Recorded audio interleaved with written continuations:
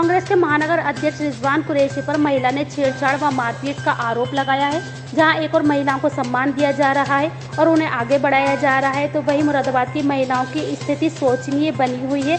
मुरादाबाद में कभी पुलिस के द्वारा महिलाओं को प्रताड़ित किया जाता तो कभी पार्टीकर्ता के द्वारा महिलाओं पर अभद्र व्यवहार किया जाता। मुरादाबाद कांग्रेस कार्यकर्ताओं की दबंगई आई सामने, जहाँ एक महिला के साथ उसके घर जाकर मारपीट की गई। ज़बरदस्ती करने का प्रयास किया गया। मामला तब समझ में आया जब मुरादाबाद गल शहीद स्थित महिला की एक दुकान है, जो कि कांग्रेस के नेता के पास किराए पर है, जिसमें नेताजी ने कबाब की दुकान खोल रखी है, जिसके कारण ऊपर रहना महिला का दुश्वार हो गया है। और महिला के द्वारा जब नेताजी से कहा गया कि आपकी दुकान से धुआँ हमारे कमरे में आता है, जिससे हमें परेशानी होती, इतना कहना नेताजी का खून गर्म हो गया। तो फिर नेताजी ने महिला के घर जाकर दबंगई दिखाई और लड़की के साथ छेड़छाड़ी की। लड़की के कपड़े फाड़ दिए और मारपीट की गई। जब लड़की ने विरोध करना चाहा तो रिजवान कुरैशी के द्वारा लड़की को धमकी दी गई। यदि कहीं कुछ कहा तो हम तुम्हें जान से मार देंगे। तो वहीं इस पूरे मामले में जब कांग्रेस के कार्यकर्ता विनोद गुम्बर से बात की गई तो उन्होंने बताया कि ये सब झूठ है और यदि ऐसा कोई मामला हुआ भी है तो इसकी जाँच होगी और दोषियों के खिलाफ सख्त से सख्त कार्रवाई की जाएगी ताकि लड़की को इंसाफ मिल सके। और हम भी अपने कार्यकर्ताओं के साथ जाकर पीड़ित महिला के घर जाकर उससे पूछताछ करेंगे और जो संभव हो सकेगा वो करेंगे। क्या नाम है आपका? हमारा नाम उजमा है। उजमा जी क्या था पूरा मनबा बताओ। ये था कि यहाँ नीचे जो दुकान वाले हैं हम कुछ टाइम पहले इन्होंने हमसे दुकान ली थी ऐसे ही पाँच छः साल पहले। तो दुकान जब से ली है जब से ये हमें बहुत तंग करते हैं बहुत परेशान करते हैं ना तो ये किराया देते और इतना धुआँ करते हैं मीट के कबाब बेचते हैं दुकान में और दुकान में इतना गोश्त का कारोबार करते हैं, बहुत ज़्यादा गंदगी फैलाते हैं। तब बीमारी आपको तो पता ही है कि कितनी गंदगी से बीमारी फैलती है और नीचे कबाब सेकते हैं भट्टी पे तो धुआँ आता ऊपर को हमारे घर में को तो सबको परेशानी होती है, धुएँ, धुआँ जब घर में आता है तो सबको सांस लेने में परेशानी होती है, इस वजह से हमारी मम्मी की भी तबीयत खराब हो गई। अब हमने इनसे धुआँ कर, हम बाईस तारीख को अपने घर आए थे। अब हमें देखते देखते हम पहले से भी यहीं के बेटी हैं तो हम यहीं पे रहते थे तो हमें पहले से भी पता था कि करते हैं लेकिन अब हम जब अपने ससुराल से यहाँ आए तो अब हमने इनसे कहा कि हमारी मम्मी की तबीयत खराब हो रही है आप ये धुआंधाई बंद कर दो। तो इन्होंने हमें बड़ी गंदी गंदी गालियाँ बगी फरहान ने और रफ़ीक ने जो, जो इनके नौकर हैं रफ़ीक बहुत गंदी गंदी गालियाँ बगी अब हमारी मम्मी ने इनको समझाया कि रहने दो मेरी बेटी ने गलत थोड़ी कहा है। तो इन्होंने अम्मी को भी गालियाँ बगी हमें भी बगी और साथ में उनको रिजवान कुरैशी को और उनको अपने भाई को, फैसल को बुला लिया और उनके साथ दो तीन और भी लोग थे तो उन्हें हम नहीं जानते जो लोग उनके साथ में थे, लेकिन इनको रिजवान कुरैशी को और फिर फैसल को हम जानते हैं। ये लोग आए और हमारे साथ बहुत बदतमीजी की गंदी गंदी हरकतें की और मारने की धमकी देने लगे, बोले, अगर तुम ज़्यादा बोलोगी तो तुम्हें मार देंगे। और दुकान तो खाली करेंगे नहीं और ऐसा फिर बहुत बदतमीजी करी इन्होंने हमारे साथ बहुत गंदी गंदी गालियाँ दे रहे थे। हथियार भी साथ में थे इनके। बहुत ज़्यादा गालियाँ बक रहे थे ये हमें। तो आपके साथ क्या करा इन्होंने? हमारे साथ बदतमीजी करी गलत गलत हरकतें करी। बहुत ज़्यादा। कौन कौन थे जो अभी आपने नाम ये इनके ये फरहान कुरे ये फरहान कुरैशी थे और फैसल कुरैशी थे। इन्होंने हमारे पेट में भी लाते मारी। बहुत बदतमीजी से पेश अब आपको क्या बताएँ बहुत ज़्यादा गंदी गंदी हरकतें करी इन्होंने मतलब और इन्होंने इन्होंने कांग्रेस के उसमें रिजवान कुरैशी थे। और तो इन्होंने बहुत बदतमीजी करी हमारे साथ बहुत ज़्यादा गंदी गंदी गालियाँ भी दी। और ये तो कहते हैं कि पुलिस भी हमारा कुछ नहीं कर सकती कपड़े वपड़े भी हमारे फाड़े बहुत बदतमीजी करी। और कहा कि पुलिस भी हमारा कुछ नहीं करती जाओ जो तुमसे हो सके वो करवा लो। और दुकान अब तुम्हारी नहीं मिलने वाली। अब ये बताइए हम गरीब बेसहारा लोग हैं हमारे छोटे छोटे ये बहन भाई हैं हमारे पापा भी नहीं हैं। हम किससे मदद मांगे? जब ये लोग ऐसा बोलते हैं तो नेताओं के ऐसा बोलते हैं कहते हैं हम नेता हैं हम हमारा पुलिस भी कुछ नहीं कर सकती बताइए हम किससे मदद मांगे? तो आपने एसएसपी से मिली थी आप? जी और हमारी मम्मी ने कई जगह रिपोर्टें भी दर्ज कराई लेकिन कोई भी हम हमें इंसाफ नहीं मिल पा रहा। हमें इंसाफ चाहिए हमें इंसाफ दिला दीजिए। अगर इंसाफ ना मिलता तो बेटा क्या करेंगे? हम बहुत परेशान हैं, अब वो तो फिर अल्लाह ही जाने हम क्या करेंगे, लेकिन हम बहुत परेशान हैं, हमें इंसाफ चाहिए। हम कानून से यही दरख्वास्त करना है कि हमें इंसाफ मिले। हमारी चीज़ें हम किसी की चीज़ नहीं मांग रहे हैं हम तो अपनी खुद की चीज़ मांग रहे हैं हमने किराए पे दी आपकी थी एफ़ तो हो गई है ना? जी एफ़ आई आर भी कराई लेकिन कोई अभी हमें वो नहीं दिखाई दे रहा कि हमारी दुकान खाली होती नज़र आई मतलब धमकी भी आती है किसी तरह की? जी जान से मारने की धमकी देते हैं हमारे ये छोटे छोटे भाई हैं बताइए अगर इनका कुछ अल्लाह ना करे कुछ कर दिया इन्होंने तो हम क्या कर लेंगे? इसलिए हम बहुत सोच समझ के वो करते हैं कि बस अल्लाह इनकी हिफाजत करे हमारे भाइयों की ये लोग तो बहुत हुए हैं। कहते हैं कि हाँ, हम तो तुम्हारी जान भी ले लेंगे तो हमारा कोई कुछ नहीं कर सकता कानून भी हमारा कुछ नहीं बिगाड़ सकता। अब बताइए हम क्या करें?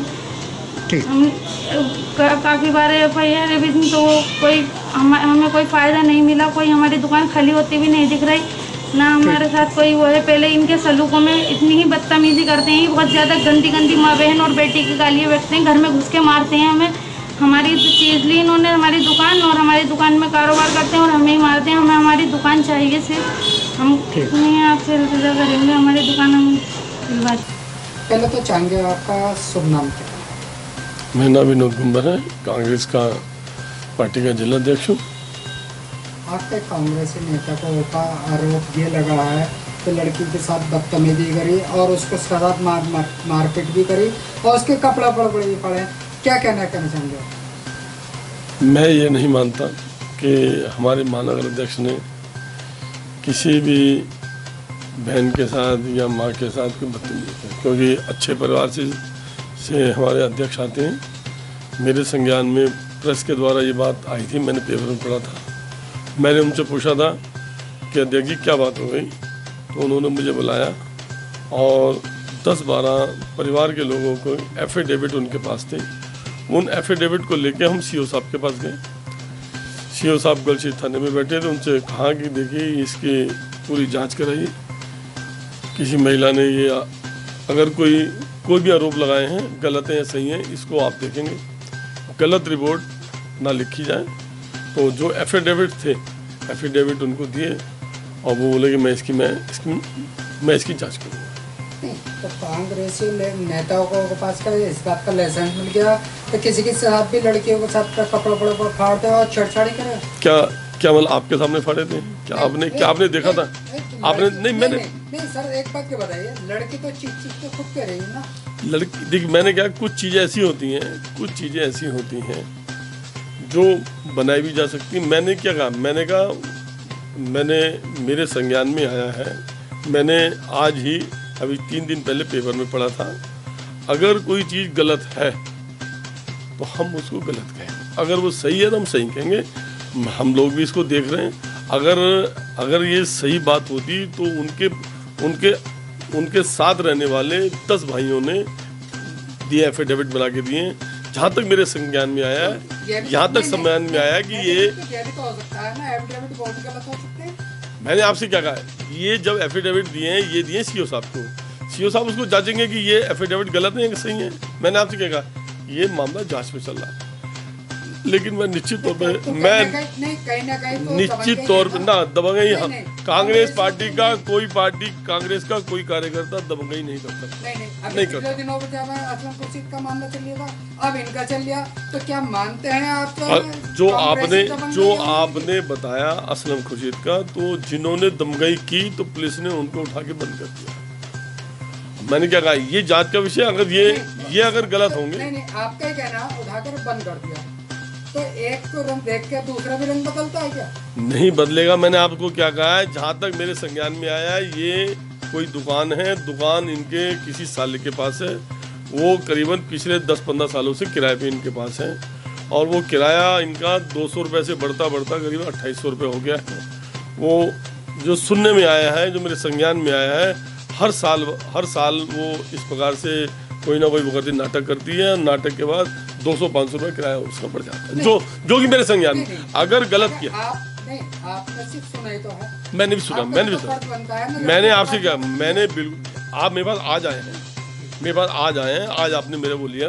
अगर मेरे से पुलिस वाले ये मेरे अगर आपके गल शहीद के जो भी जो भी पास तो अधिकारी जो भी अधिकारी अगर पीड़ित महिला मेरे पास आती। तो नहीं मुझे नहीं मैंने क्या कहा आप समझे उन्होंने कोई आरोप लगाया? मतलब मैं जाऊँगा। मैं आपने मुझसे कहा मैं जाऊँगा और मैं भी इसकी अपनी मतलब निजी स्तर से इसकी मैं जाँच करूँगा तो उसके अंदर तो डर बैठा हुआ। डर हमको पैदा है। हमें तो लोगों को हमें हमें तो लोगों के बहन भाई मैंने क्या कहा है? हमें लोगों के अंदर से डर ही तो निकालना है। ये जो लोग जो जनता जो है आज जो जनता हम अभी भी आपसे कह रहे हैं हम आ, हम अभी भी आपसे ना नहीं नहीं मैंने आपको मैं देख मैंने हैं? कोई जो मैंने पेपर में पढ़ा उसमें उसमें ऐसी कोई बात नहीं लिखी कि साहब उनके पास बहुत हथियार थे और हमारा अध्यक्ष ये काम नहीं कर सकता मुझे अभी भी शोर हूँ और कोई दाएँ बाएँ के उनके कोई उन नहीं एफ़ में उन्होंने जो उनके साले थे तो। उनका कोई झगड़ा हुआ होगा उन्होंने नाम नाम है? मानते हैं? मानता हूँ। तो आरोपी है?